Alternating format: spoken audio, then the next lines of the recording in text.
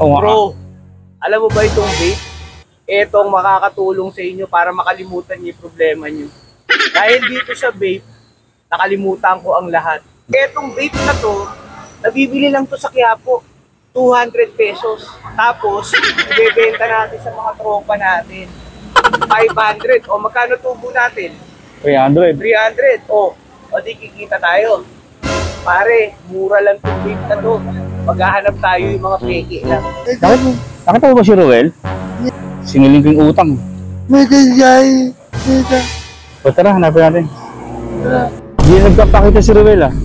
Ilang linggo nang hinahanap natin eh. Ay. Saka yung loko.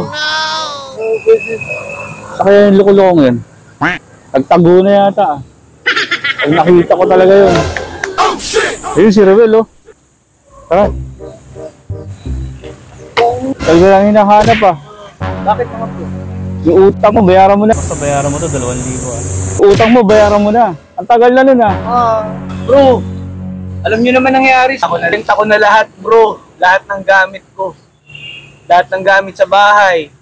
Pati nga yung gamit ng kapitbahay, binenta ko na din. O, Bro, sana naman naiintindihan niyo ako. eh, kasalanan mo yun, pinatalo mo pera mo eh. Teka, parang mas okay yata kung itataya ko pa. Para at least makabili naman ako ng kotse. Para maipagyabang ko talaga sa mga tropa. Nayayaman ako sa scatter. Eh, pinatalo mo pera mo eh. Hindi namin kasalanan yun. Oo nga bro eh. Eh alam niyo naman na sa sugal, wala ka naman talagang panalo dyan eh. Oh, Natuto na ako bro. alam mo pala yun eh. Hindi namin kasalanan yun. Bayaran mo na kami. Bro, naalala niyo ba yung mga araw na marami akong pera? Yung tinulungan ko kayo. Ikaw Brian, naalala mo nung nagkasakit ka? Sino ba ang tumulong sa'yo? Hindi ba ako? Tinulungan kita, di ba? O yung mga pera na ginamit mo, kanino ba yung galing? Di ba sa akin? Ikaw Ronnie, o ikaw, naalala mo ba nung time na nangangailangan ka ng tuition tapos lumapit ka sa akin? Di ba hindi naman ako nagdalawang isip na pahiramin ka? Oo, pero bayad na yun. Nabayaran namin yun. Ikaw hindi pa nakakabayad. So, kaya ngayon, magbayad ka na. Eh, yun nga ang problema bro eh. Wala pa akong pera. Wala akong pambayad.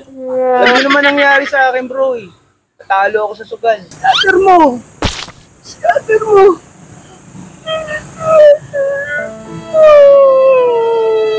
Talo na naman ako. Ayoko na maglaro nito.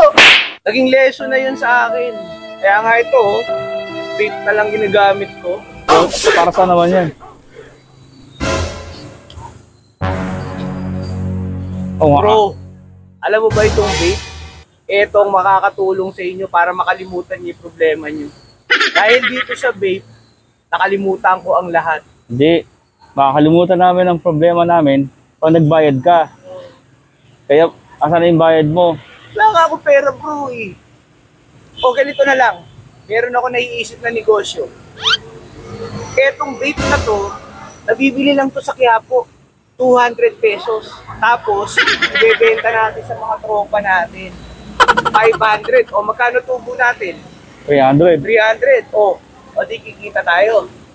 Pare, mura lang itong vape na to. Maghahanap tayo yung mga peke lang. Para at least, ang laki ng tubo natin. ating content at pang good vibes ay nasa tamang channel po kayo. So please consider like, comment, and subscribe din para lagi kang updated sa aming mga susunod na video. Buhay parang GTA, iba't iba na address Di